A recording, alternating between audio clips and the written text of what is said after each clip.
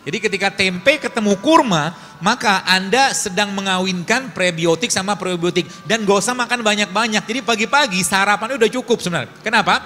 Kurma prebiotik kan. Ada gula nggak? Ada. Tempe probiotik kan fermentasi. Ada protein? Ada.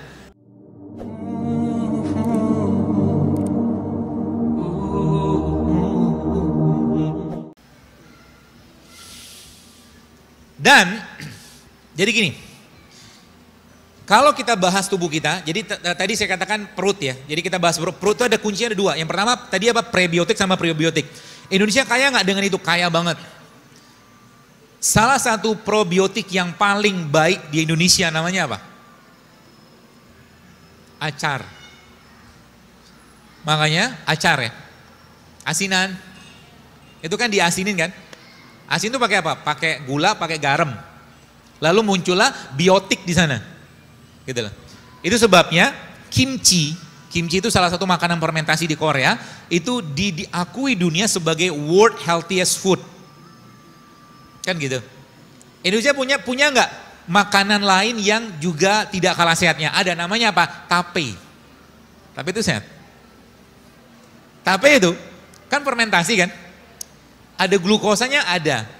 Nanti kalau Anda misalkan uh, lagi apa ya, perutnya lagi bermasalah sebenarnya salah, se, sepotong kecil tempe, eh, tempe uh, tape itu bagus banget. Di samping tempe juga bagus. Tempe juga tempe juga probiotik.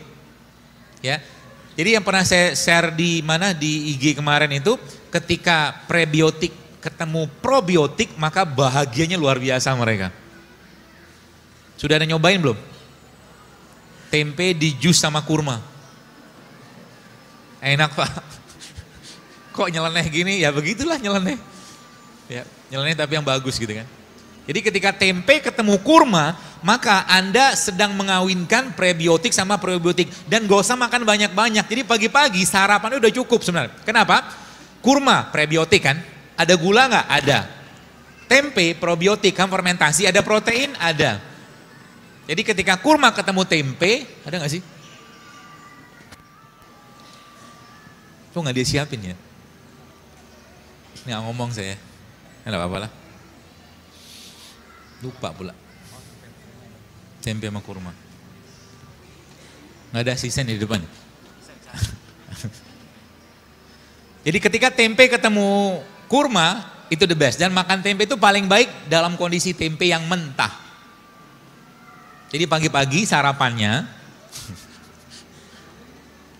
kok aneh begini, coba aja kerjain. Nanti seminggu aja Anda kerjakan, Anda akan merasakan badan yang jauh lebih sehat. Serius.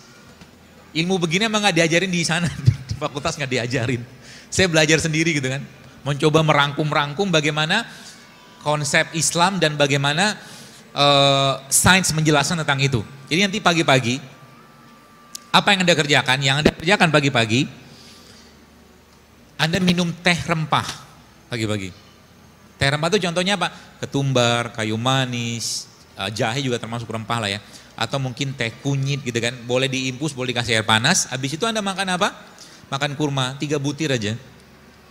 Ya, nggak usah banyak-banyak. Lalu habis itu Anda makan tempe.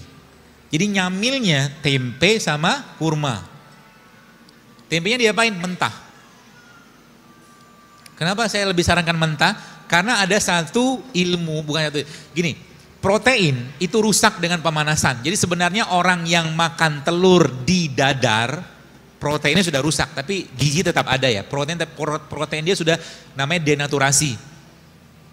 Jadi antara telur yang mentah sama telur yang diceplok, sehatan yang mentah. Begitu. Tempe kan protein, digoreng nggak? Rusak nggak? Rusak. Makanya makan tempe itu lebih baik. Berarti kalau kita makan tempe digoreng nggak ada gizi sama sekali, tetap ada cuman sebagian besar proteinnya udah rusak, denaturasi namanya. Kakak dipanasin. Jadi makan tempe itu bagusnya gimana? Ya mentah. Gitu kan? Seperti itu.